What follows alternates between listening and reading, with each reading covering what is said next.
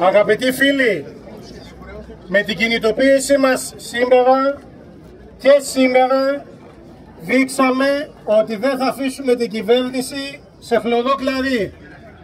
Δεν θα επιτρέψουμε να καίγεται η μισή Αττική, να καίγονται 100.000 στρέμματα δάσους, να έχουμε απώλειες ανθρώπινων ζωών, να φτάνει η φωτιά μέσα στο πολεοδομικό συγκρότημα της πρωτεύουσας και να μας λένε ότι για αυτά φταίει η ξηρασία, ο αέρας και όλα τα σχετικά. Δηλαδή τα καιρικά φαινόμενα του Αυγούστου. Οι πυρκαγιές έτσι πιάνουν.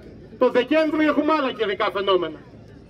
Δεν θα επιτρέψουμε να συνεχιστεί η κοροϊδία των ανθρώπων που επλήγησαν 146 σπίτια λέει βρέθηκαν μη κατοικήσιμα αλλά μας λένε και το πιο προκλητικό ότι μόνο αυτοί επλήγησαν. Όλοι οι άλλοι όλοι οι άλλοι δεν έχουν τίποτα για να διαμαρτυρηθούν, δεν έχουν λόγο να αγωνιούν, δεν έχουν κανένα λόγο να στεναχωριόνται.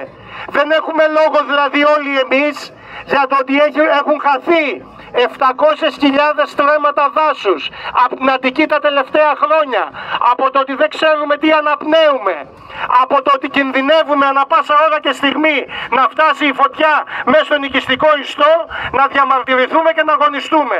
Δεν πάει έτσι, θα συνεχίσουμε, θα παλεύουμε για να δοθούν το 100% των αποζημιώσεων στους πληγέντες για να σταματήσουν τα κοράκια που με το καλημέρα έκαναν την εμφάνισή τους και θέλουν λέει να αποκαταστήσουν μέρος των ζημιών καταλάβατε.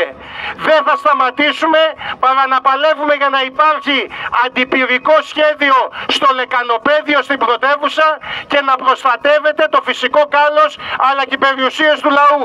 Ολοκληρώνουμε την κινητοποίησή μας σήμερα και συνεχίζουμε αύριο με νέες κινητοποιήσεις και νέες πρωτοβουλίες.